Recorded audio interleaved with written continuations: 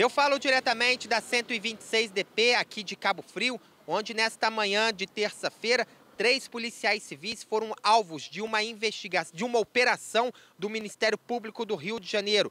Dentro desses três policiais, um foi preso em flagrante em São Pedro da Aldeia. Na casa desse policial civil, o Ministério Público encontrou cerca de 370 mil reais em espécie e uma arma restrita. Na casa desse policial, os agentes do Ministério Público encontraram na, na sua residência, na cozinha da sua casa, escondido no piso, todo esse dinheiro. Os agentes precisaram usar uma cavadeira para poder quebrar a cozinha da casa do policial para poder retirar todo esse dinheiro que estava lá na residência.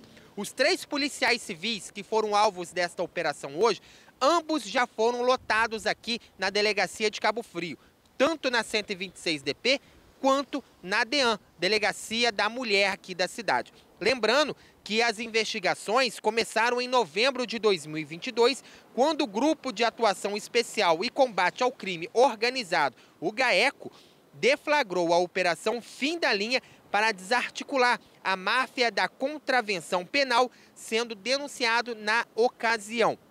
Lembrando também que esta operação aí, essas investigações dão conta que os três policiais civis são envolvidos em esquema de propina que ameaçava empresários aqui da cidade de Cabo Frio a fornecer aí dinheiro para eles aí em troca de propinas aí é, que o Ministério Público é, chegou a essa conclusão. O policial civil que foi preso é, em São Pedro da Aldeia foi levado para o Rio de Janeiro, para a Corregedoria, onde presta esclarecimento agora durante a tarde e ficará preso aí à disposição da Justiça. Os outros dois policiais apenas foram alvos de busca e apreensão. Celulares e documentações foram apreendidos. O Ministério Público segue investigando e a qualquer momento outra outra parte aí da operação poderá ser desarticulada pelos agentes.